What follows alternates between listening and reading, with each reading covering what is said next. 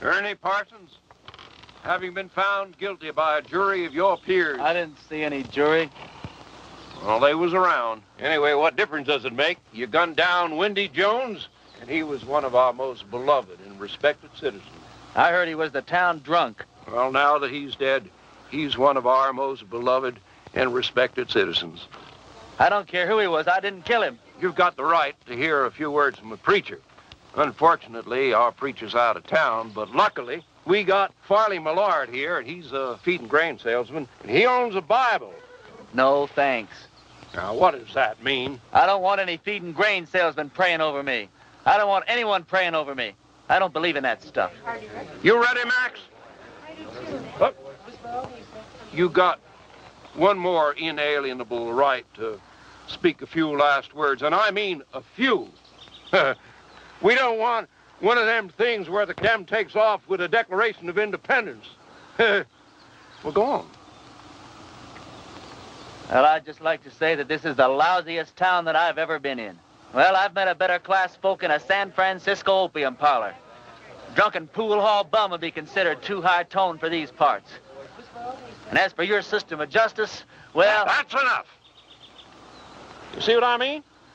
He was just one breath away from the Declaration. All right, Max. Don't do it! Don't do it! Don't do it! Don't do it! Ed Loesch just confessed. He killed Wendy in a drunken barroom brawl about a pregnant Indian squaw. Ed claims Wendy was the father and that he was acting as the avenging angel. Wendy was going to be the father or something? That's what Ed says. All right. On time. Giving his gun.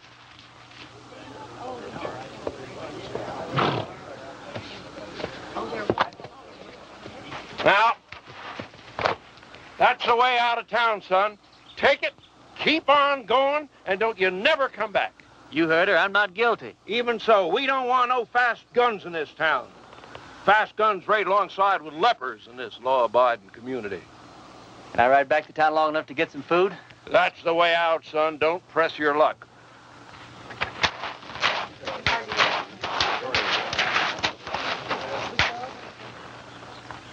Thanks.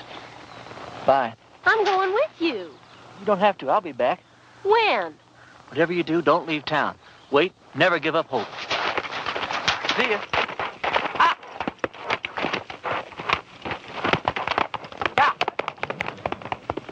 If I'd have known he was going to act like that, I never would have lied for him.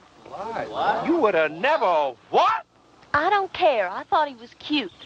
There ain't a man around here I'd have as a gift. And he took a bath every so often besides. After him? Pop!